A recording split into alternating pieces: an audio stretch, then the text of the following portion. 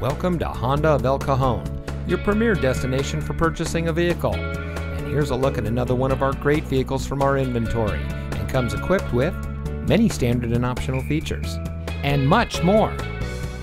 Since 1971, family owned Honda of El Cajon has been proudly serving our friends and neighbors with the best customer service in the business.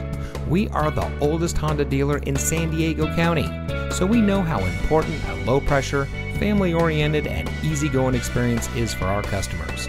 Come see us today at Honda of El Cajon.